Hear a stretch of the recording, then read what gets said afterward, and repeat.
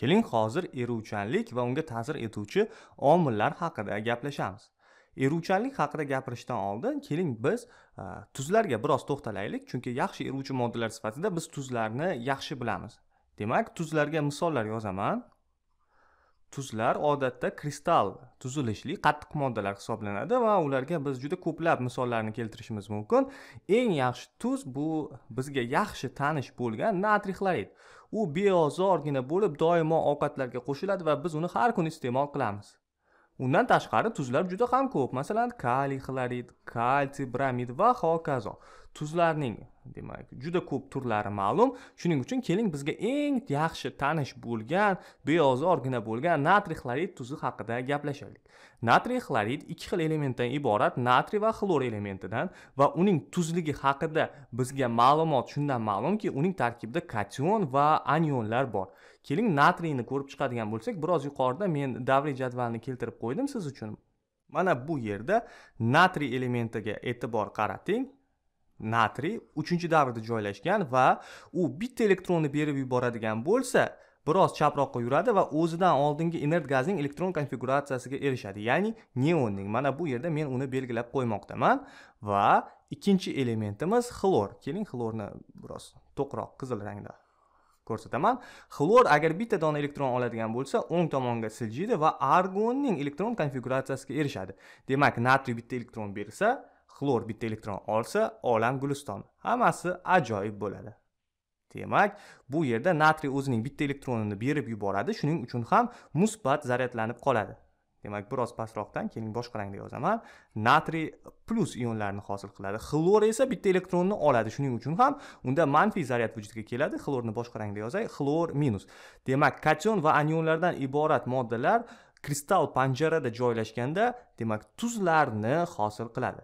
Natriy xlorid kristal panjarasining tuzilishi taxminan mana bunday. Demak musbat zaryadlangan mana bunday kationlar orasida manfiy zaryadlangan anionlar joylashadi. Xlorid anionlarning o'lchami katta bo'ladi. Buning sababini hozir men tushuntirib o'taman. Demak mana bu manfiy zaryadlangan zarrachalar keling bu yerga ham yozib qo'yaman. Mana yana manfiy zaryadlangan zarracha va kationlar mana bu yerda natriy kationlari musbat zaryadlangan zarrachalar. Va shu tariqa har xil tomonlarga kation anionlar galma gal joylashsa kattagina kristalni hosil qiladi. Demak xlorid anioni argonning elektron konfiguratsiyasi bilan bir xil konfiguratsiyaga ega. Natriy kationi esa neonniki bilan bir xil. Demak o'zingiz o'ylab ko'ring argonning elektron qobiqlari neonnikidan ko'proq. Shuning uchun ham argonning o'lchami albatta neonnikidan katta bo'ladi. Demak xlorid anioni ham natriy kationidan katta bo'lishi kerak. Haqiqatda ham shunday. Ana endi mana shu kristal suvga solinganda qanday jarayon amalga oshadi? Tasavvur qiling mana shu molekulalar endi suv molekulalari bilan ta'sirlashyapti. Men suv molekulalarini keling mana bu yerga yozib qo'yaman. Demak mana bu kislorod va vodorod atomlarini keling sariq rangda ko'rsatamiz. Mana bu vodorod atomlari. Kichkinagina chunki vodorodning o'lchami albatta kislorodnikidan kichkina. Bu yerda kislorod atomlari elektromanfiyligi yuqori bo'lganligi sababli nisbatan manfiy zaryadlangan bo'ladi. Vodorod atomlari esa nisbatan kuchsiz elektromanfiylikka ega bo'lganligi sababli o'z elektronlarini kislorodga berib yuboradi va nisbatan plyus zaryadlanib qoladi. Xo'sh mana bu kristal bilan ta'sirlashayotganda manfiy qutb albatta musbat qutb bilan ta'sirlashadi. Demak mana bu yerda e, kislorod albatta natriy kationlariga o'z ta'sirini ko'rsatib ularni o'ziga torta boshlaydi.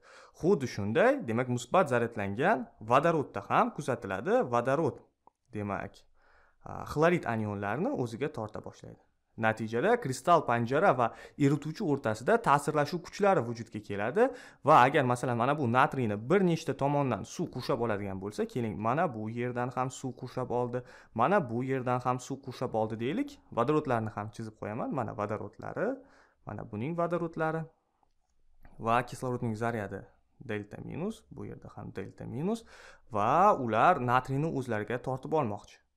Natijada mana bu xlorid anionlarining kuchi uchta tomondan tortayotgan suvning kuchiga teng kela olmaydi. Xlorid ionlari majbur bo'ladi o'zining qo'shnisi natriy kationini suvga berib yuborishga. Natijada keling bundan qanday natija olish mumkinligini ko'rib chiqaylik. Natriy kationi suv molekulalari tomonidan qurshab olinadi. Demak mana bu yerga men natriy kationini chizadigan bo'lsam u to'rt tomondan sxematik ravishda albatta demak men to'rt tomondan qurshab olgan holatni chizaman. Suv molekulalari tomonidan qurshab olinadi. Vodorodlarni ham chizib chiqaman. Mana ikkitadan vodorodi bor. Har bir suv molekulasida va aynan kislorodli qutb manfiy qutb.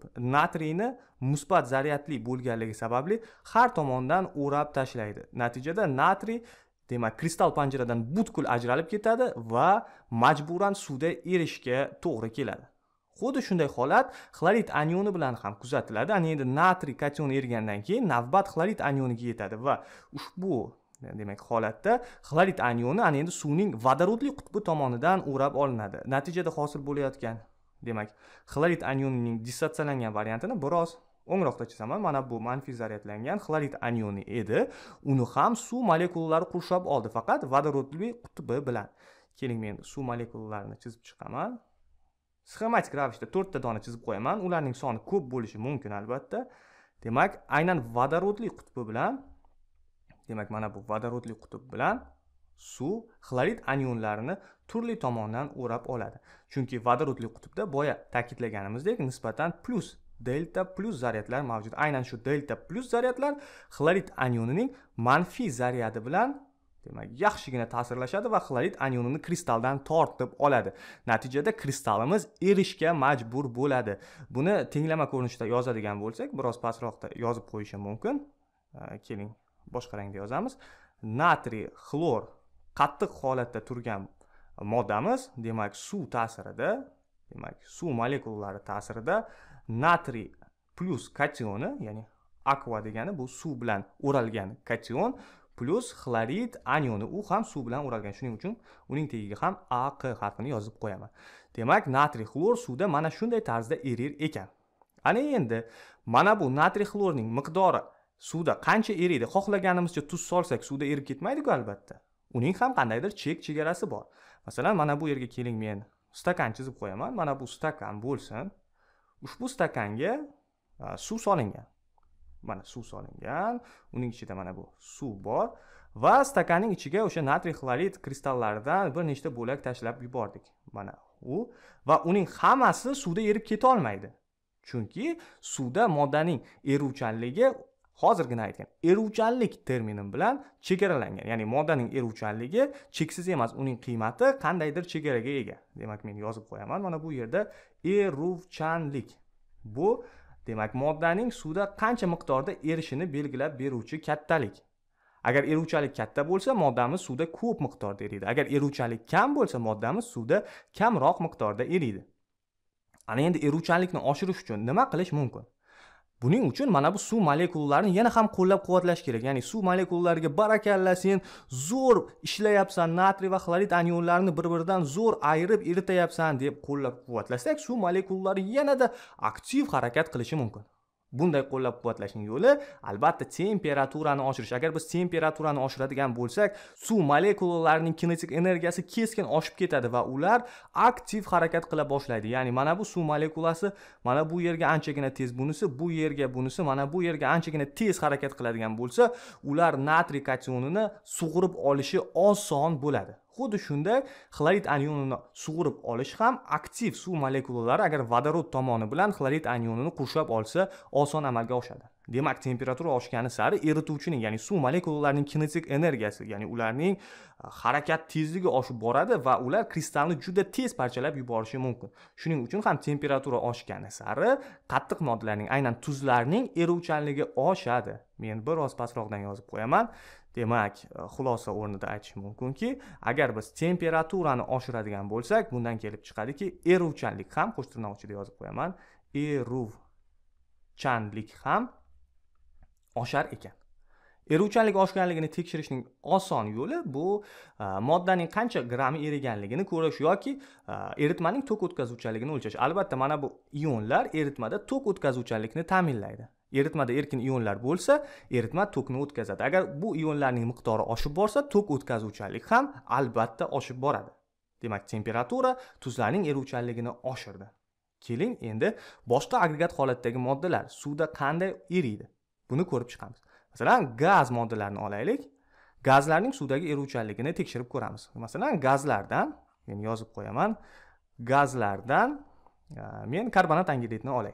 Karbonat angidrid molekulalari mana bu yerda turli tomonga erkin harakatlanib yuribdi. Ular gaz fazasida.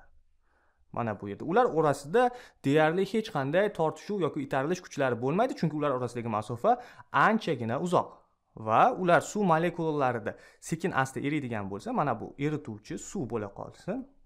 Men suvni sxematik ravishda chizayapman. Va suv molekulalari yuzasiga kelgan sekin harakatlanayotgan karbonat angidrid molekulalari albatta uning qurshoviga tushib qoladi va unda erishga majbur bo'ladi. Ya'ni mana bunday suv molekulalari orasida karbonat angidrid molekulalari erib ketishi mumkin. Demak bunday jarayonni tenglama bilan ifodalaydigan bo'lsak biroz pastroqdan yozib qo'yishim mumkin. Karbonat angidrid molekulalari gaz fazasidan demak suv ta'sirida h ikki o ta'sirida deyman karbonat angidrid suvda erigan holatga o'tishi mumkin ya'ni akva holatiga. Va agar biz bu holatda temperaturani oshirsak eruvchanlik ortadimi? Tuzlarda eruvchanlik ortgan edi. Keling buni tekshirib ko'ramiz. Agar biz temperaturani ortadigan bo'lsak molekulalarning tezligi oshadi. Albatta mana bu suv molekulalarining ham tebranishi kuchayadi. Ya'ni turli tomonga ular tezroq harakat qila boshlaydi. Lekin ular bilan birgalikda karbonat angidrid molekulalarining ham kinetik energiyasi oshadi. Ya'ni mana bu molekulalar ham endi kattaroq kinetik energiyaga ega bo'la boshlaydi. Ya'ni ular ham kuchliroq impulslarni qabul qiladi va natijada mana bu yuzada turgan molekulalar uchib ketib qolishi mumkin. Ya'ni men pushti rangda uchib ketayotgan molekulani ko'rsatyapman ular katta kinetik energiyaga ega bo'lgandan keyin suv yuzasidan oson uchib ketadi. Ya'ni biz jarayonni teskari tomonga amalga oshirib qo'yishimiz mumkin. Demak xulosa qilamizki temperatura oshirilsa gazlarda eruvchanlik kamayar ekan. Mana bu yerga yozib qo'yaman. Agar biz temperaturani oshirsak u holda gazlar uchun eruvchanlik men yozib qo'yaman eruvchanlik qiymati kamayar ekan. Demak gazlar suvda yaxshi erishi uchun temperaturani pasaytirish kerak. Shunda gaz molekulalarining kinetik energiyasi past bo'ladi va ular o'z hovurini bosib olgan holda suv molekulalarining ichida sekin asta harakat qilib yuraveradi. Hech qayoqqa uchib ketmaydi. Ana endi gazlarning eruvchanligini oshirish uchun yana qaysi parametrdan foydalanish mumkin? Qarang mana bu yerda gaz molekulasi hovliqib yuqoriga uchib ketmoqda. Keling unga atmosferadagi molekulalar yordamida to'siq qo'yamiz. Ya'ni atmosferadagi molekulalar yordamida to'siq qo'yadigan bo'lsak atmosfera molekulalari mana bu molekulaning uchib ketishiga qarama qarshi harakat qiladi. Demak atmosferadagi molekulalarning soni ko'paysa bu atmosfera bosimining oshishidan dalolat beradi.